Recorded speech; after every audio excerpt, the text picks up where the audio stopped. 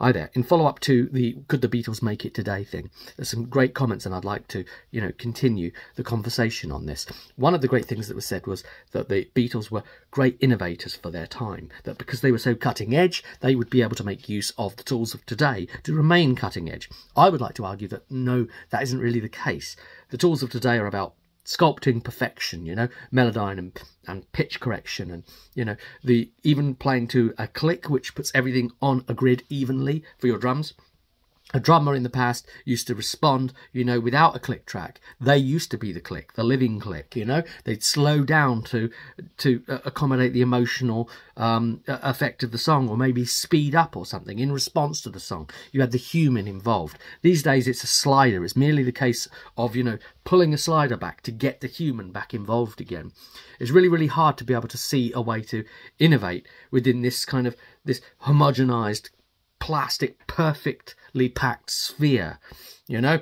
And I think you can see some sort of evidence of something going on like this when you look at decades in the past, you know, how the 20s were different to the 30s, 30s different to the 40s, musically, right? 40s different to the 50s, 60s again, completely different, 70s completely different, 80s very, very different, 90s really different again, you know? And then from the 2000s, all of that started to slow down and sort of converge more into this perfect, perfect, perfect music. But, you know, is it too perfect? Okay, another thing is that, you know, you look at the charts and it's it's very much more like one kind of sounding thing.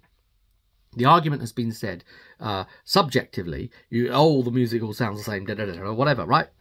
You know, and and there is an objective study that's been made on this as well uh, to find that music is sounding more and more the same actually um, you know, from sound analysis. Uh, the other thing you can obviously see is that there are, you know, there's only a, certain types of acts that are allowed to be at the top. For instance, the pop or pop fusion, pop esque kind of acts, or the things that use all that production that basically make it feel pop. Yeah. Um, and if when you look at like that level of superstardom, Ed Sheeran, Taylor Swift, this sort of thing, right? It's pop, you know. Um, the other thing really is the decline of the band. Yeah. So again, in those examples above, those are solo artists.